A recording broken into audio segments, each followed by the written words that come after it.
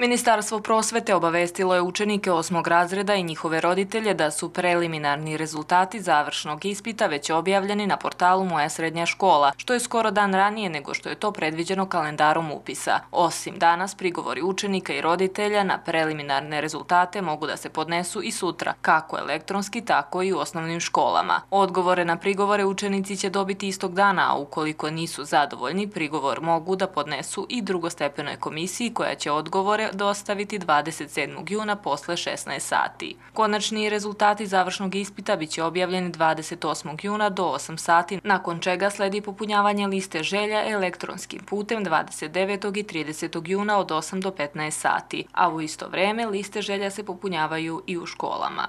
Listu želja pišu ili tu na samom sajtu moja srednja škola, na samom administrativnom portalu, tu mogu tu mogu da popunjavaju one želje koje su njima e, prevashodno bitne, koje smatraju da, da im mnogo znači da to bude na početku, tako su i savetovani da, da tako urade. Oni koji nemaju mogućnosti da to urade, mogu da dođu ovde u školu, popunjavaju papirnu verziju e, liste želja Savjet je da oni učenici koji nisu sigurni da li će sa osvojenim brojem bodova upisati škole za koje su se opredelili popune svih 20 mesta koliko ih ima u obrazcu liste želja, kaže Kostić. Objavljivanje konačnih rezultata i rasporeda po školama i obrazovnim profilima biće 3. jula. Istog dana biće objavljena i slobodna mesta u srednjim školama i popunjavanje liste želja za drugi upisni krug koji se završava upisom učenika 5. jula. Za upis učenika u prvi razred srednje škole ove godine planirano je ukupno ukupno 75.853 mesta.